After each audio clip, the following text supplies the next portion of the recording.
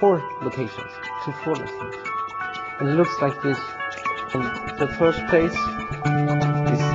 And the second place